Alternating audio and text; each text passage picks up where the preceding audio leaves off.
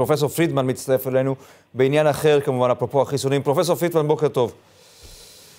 בוקר אור לך וגם לצופים. יושב ראש ועדת הלסינקי כאן במדינת ישראל. אה, תכף נדבר על ההודעה שאתם פרסמתם, שהיא כמובן מעוררת הרבה מאוד אה, דיון, אבל הנה תחילה קטע שלך כאן באולפן הזה לפני כמה חודשים.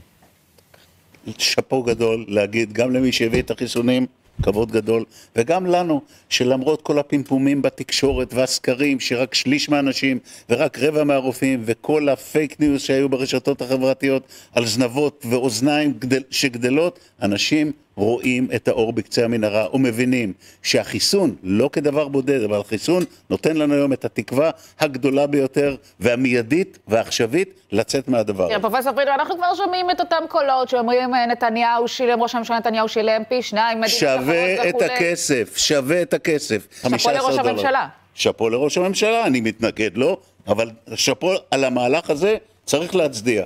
כן, זה היה לפני שבועיים, לא חודשיים, שבועיים, כן. כאן באולפן כן. הזה. כן. אז מה פתאום עכשיו אה, לשנות בח... כיוון? אני, אף אחד לא שינה כיוון. זה, זה ספין שמישהו עשה על הגב שלי. ואני רוצה להגיד באופן חד משמעי, לא אני ולא איש מוועדת הלסיקי ולא איש ממקורביי לא התנגד מעולם לחיסונים, אחד. שתיים, זה אף פעם לא היה מנדט של ועדת האתיקה, ועדת הלסינקי העליונה של משרד הבריאות, לחוות דעה לנושא של החיסונים. לא, אבל, אבל החיסונים הם... אבל, רגע, אבל, שנייה. פרופסור, שנייה. זה לא הייתה הטענה. הטענה הייתה, האם אזרחי ישראל... משתתפים לראשונה, האם הם בעצם אה, משתתפים בניסוי הגדול בהיסטוריה? האם זו דעתך? זה אדיר עכשיו, כן. אטילה, אטילה. יש לזה תשובה קצרה לא, והתשובה הארוכה היא בוודאי שלא. החיסונים מאושרים לשימוש קליני. וכל מי שעושה ניסוי קליני אחרי הפאזה השלישית, בעיקר אם האישור הוא אישור אמרג'נסי, חייב במשך שנתיים לנטר את תופעות הלוואי. זה חלק בלתי נפרד. אנחנו לא משתתפים בניסוי.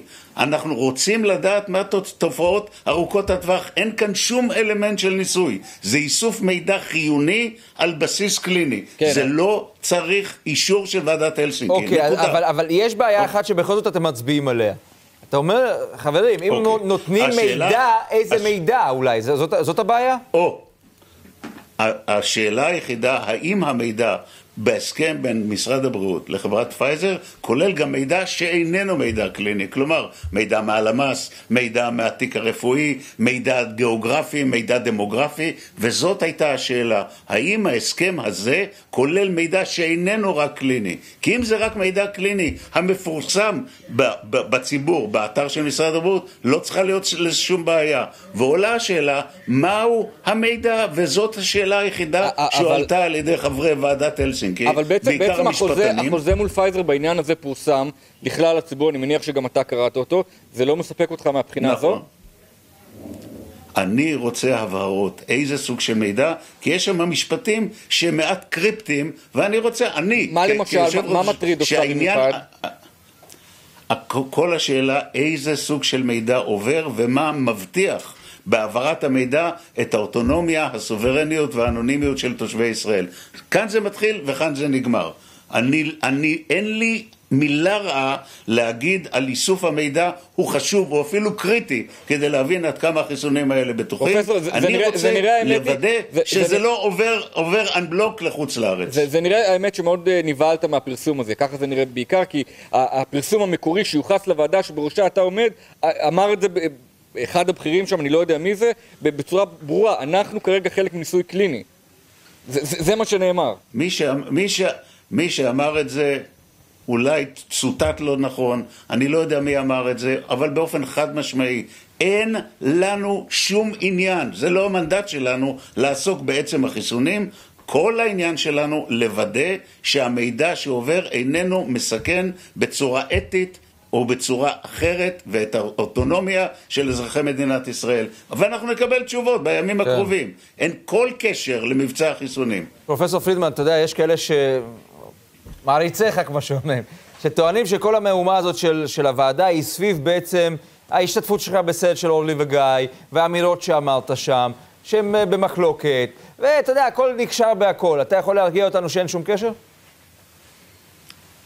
אני לא יודע מי, מי הפיץ את השקרים האלה, שאני מתנגד חיסונים, שאני מכחיש קורונה, ואני בעלי לא זה ולא זה. העובדה היא שהתחסנתי בעצמי. אם הייתי מכחיש חיסונים לא הייתי מתחסן בעצמי, ולא הייתי קורא מעל לכל במה אפשרית ללכת ולהתחסן.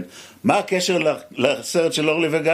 אני, אנחנו פרסמנו אה, לא, בפייסבוק לא, אבל... לפני יומיים, כל מי שהשתתף בסרט, קראנו לכל מי שהתעמת איתנו להתעמת באלף על לגבי העובדות. וצריך להבין, כאשר ירדה החוכמה והיכולת לנתח נתונים, היא לא ניתנה באופן בלעדי, בלעדי ובלבדי רק למדעני משרד הבריאות וליועצים שלהם. יש עוד דרכים ויש, וצריך לאפשר כל אחר להישמע.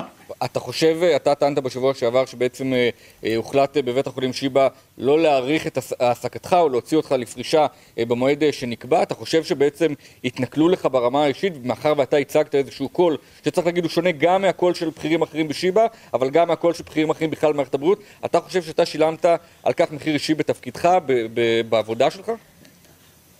אני לא חושב שהתנכלו לי אישית, אני לא חושב שפיטרו אותי, אני חושב שהחליט מי שהחליט על בסיס נתונים שלו, ובאופן שאותי אישי, אישית הפתיע להגיד, הנזק שאתה גורם בצורה כזאת או אחרת, גדול מהתועלת שאנחנו מפיקים. כלומר, כלומר לא, התיישרת, לא התיישרת עם כולם ושילמת על כך מחיר.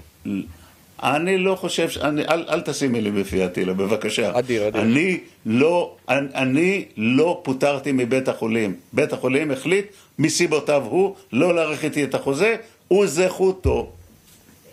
אוקיי. טוב, אה, פרופסור פרידמן, אה, תענוג לדבר איתך כרגיל, גם אם לא תמיד אנחנו מסכימים. תודה רבה, תודה רבה.